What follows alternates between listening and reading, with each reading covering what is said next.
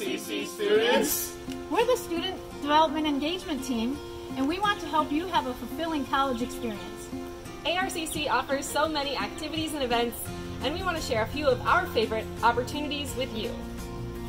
Hey everybody, my name is Michael Hoku. I'm the Director of Student Development and Engagement here at the college.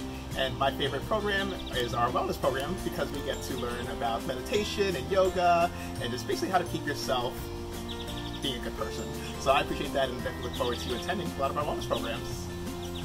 Hi, I'm Angela Venna, the coordinator of Diversity, Inclusion, and Leadership Programs at Anoka Ramsey.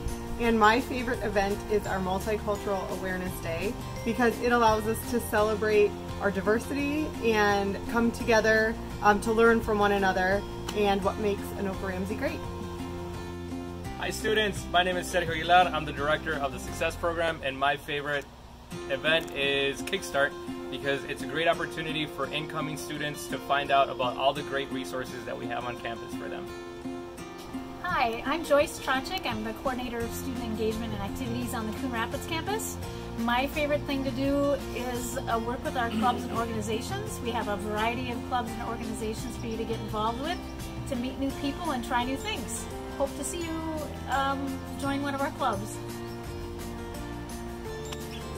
Hi, my name is Peter Larrell, and theater is my favorite activity because I happen to be the technical director for our theater department, and I would love to see any or all of you get involved in our theater program. I'm Elise Kazmerzak, coordinator of student engagement and activities for the Cambridge campus.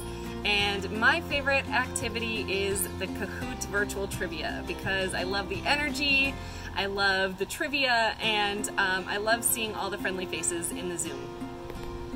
Hi, I'm Baggio Lowe. I'm the Marketing and Operations Assistant to Student Life, and my favorite event is the leadership workshops because it gives you insights to yourself that will help empower you and succeed outside of the classrooms and in your college career. All of these opportunities and so much more are available to you as a student here. Check out the Campus Life website and watch for emails from Student Life to get involved. We can't wait to see you.